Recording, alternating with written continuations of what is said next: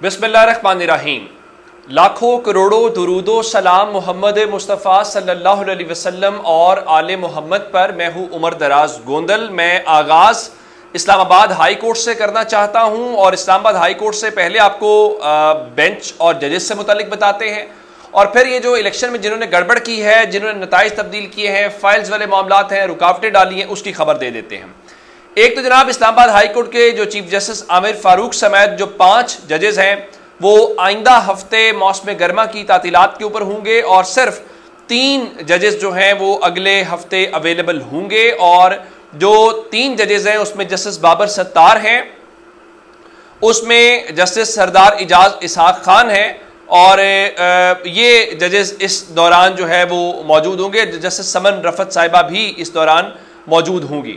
یہ دو مختلف بینچ ہیں، تو مجموعی طور پہ جو تین ججز ہیں، وہ اویلیبل ہوں گے اور پانچ جج جو ہیں، وہ چھٹی کے اوپر ہوں گے۔ لیکن اس سے پہلے جو آج ڈیولپمنٹ ہے کہ اس بارے میں، اور وہ یہ ہے کہ این اے ایک سو اٹھائیس لاہور کا حلقہ ہے۔ یہ وہ حلقہ ہے جس سے متعلق عمران خان بھی گزشتہ روز بات کر رہے تھے کہ اتنی حیرانی کی بات ہے۔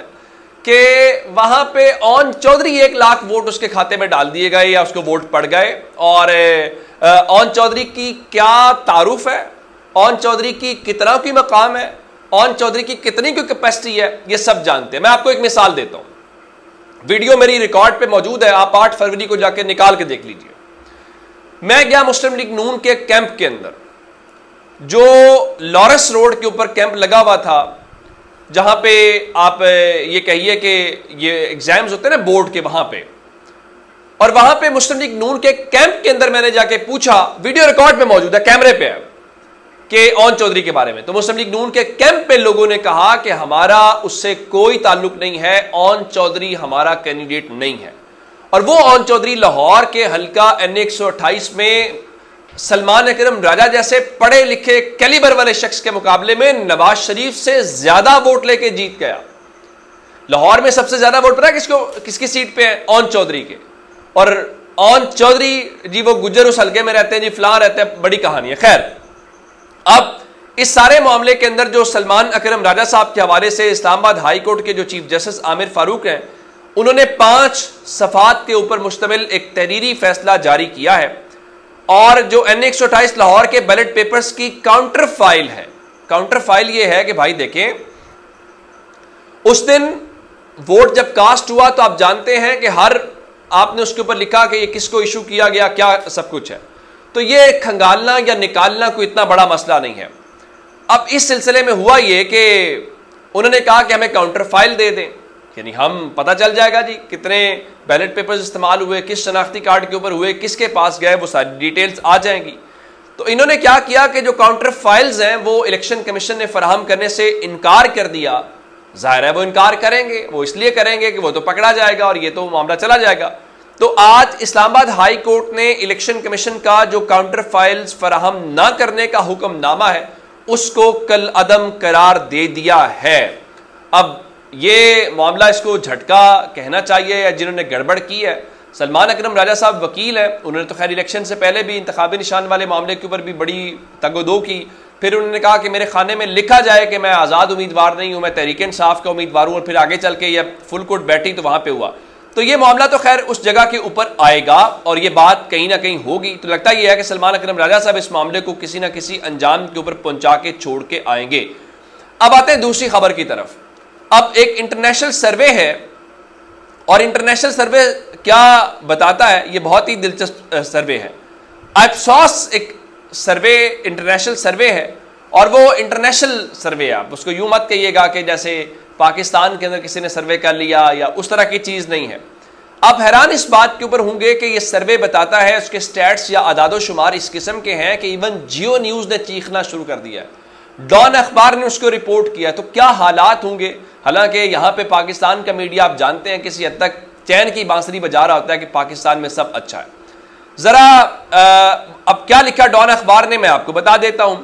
An international survey conducted by Ipsos I P S O S has suggested that only one in ten Pakistanis believe the country is headed in the right direction یعنی اس سروے کے اعداد و شمار یہ بتاتے ہیں کہ دس میں سے صرف ایک پاکستانی ایسا ہے جو یہ سمجھتا ہے کہ پاکستان جو ہے وہ درست سمت میں جا رہا ہے۔ اچھا آگے چلتے ہیں۔ Only thirteen percent Pakistani believe the economic condition of the country strong صرف تیرہ فیصد پاکستانی یہ سمجھتے ہیں کہ ملک کی جو معاشی صورت حال ہے وہ بہتر ہے۔ اور اس لحاظ سے آپ یوں کہیے کہ جو دس میں سے صرف ایک پاکستانی کا خیال ہے کہ ہم صحیح سمت میں جا رہے ہیں۔ پھر کسی نے کہا کہ وہ دس میں سے ایک پاکستانی کون ہے، کسی نے کہا یہی پوری تمام، جو تمام حکومتیں، جماعتوں، حکومت میں شامل جماعتیں ہیں، ان کا وہ ایک ہی ووٹر ہے۔ باقی نوے فیصد لوگ کہہ رہے ہیں، بھائی، یہ ہم ٹھیک سمت میں نہیں جا رہے اب جیو نیوز نے کیا لکھا ہے؟ جیو نیوز کے مطابق خریداریوں میں مشکلات کے شکار افراد چورانوے فیصد ہیں۔ یعنی چورانوے فیصد پاکستانی یہ سمجھتے ہیں کہ انہیں روزمرہ کے استعمال کی جو شیاہ ہے اس کی خریداری میں بھی مشکلات کا سامنا ہے۔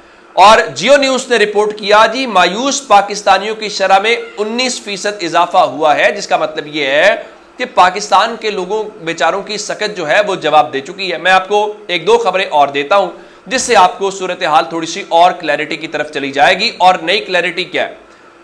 یہ جو ابھی حالیہ بجٹ آیا جولائی کے اندر جون میں آیا یعنی جولائی سے آغاز ہوتا ہے، یکم جولائی سے جولائی کا مہینہ اور اگست کا مہینہ، کل ستمبر شروع ہو جائے گا اور صورتحال یہ ہے کہ پہلے دو مہینوں کے اندر یہ جو ایف بی آر ہے، اس نے ایک سو گیارہ ارب روپے کی ٹیکس کلیکشن میں کمی کا سامنا ہے۔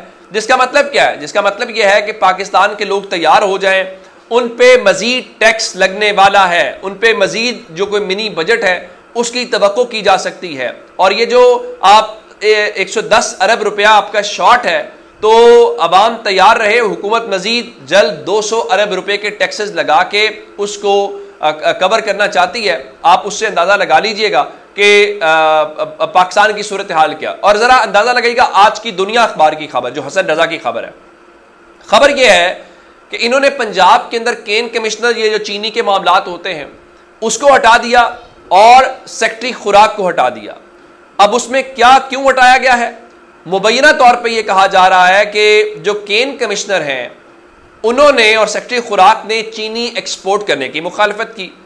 اور اس سلسلے میں ہوا یہ کہ کچھ میٹنگ کے منٹس منسوخ کر دیے گئے جو کین کمشنر ہیں عبد الروف ان کے حوالے سے۔ تو پھر جو کین کمشنر عبد الروف صاحب ہے انہوں نے خط لکھا اور کہا کہ جو میٹنگ منٹس ان سے منسوخ کیے گئے ہیں، وہ غلط ہیں اور انہوں نے چینی کی ایکسپورٹ کی حمایت نہیں کی۔ یعنی انہوں نے یہ کہا کہ اس سلسلے میں وہ یہ سمجھتے ہیں چینی ایکسپورٹ نہیں ہونی چاہیے۔ اور جو چینی کے اس وقت آپ کے پاس ذخائر ہیں وہ بینچ مارک سے کم ہے۔ یعنی جو آپ کے پاس ہونے چاہیے اس سے کم ہے۔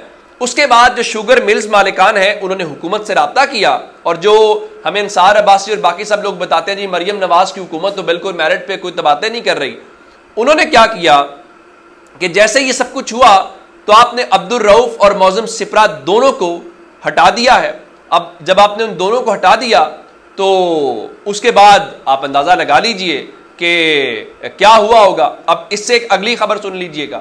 محمد مالک صاحب جو اینکر ہیں، آج کل وہ ایک نیوز پہ شو کرتے ہیں۔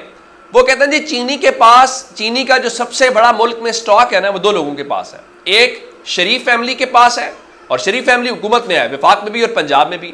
اور دوسرا جہانگیر ترین، اور جہانگیر ترین بھی اس حکومت کے اتحادی ہیں۔ وہ اون چودھری کے صورت میں ہوں۔ اور وہ علیم خان کی صورت میں ہوں۔ تو اب جب یہ حالات و واقعات ہوں، تو میرا، مجھے آپ یہ بتائیے گا کہ پھر پاکستانی کیسے سمجھیں گے کہ آپ صحیح سمت میں جا رہے ہیں؟ پھر دس میں سے ایک پاکستانی جو کہہ دیا شاید اس نے بھی ذرا بھرم رکھنے کے لیے کہہ دیا ہوگا۔ خیر، جب تک یہ اپڈیٹ سے اپنا بہت سارا خیال رکھیے گا۔ خدا حافظ۔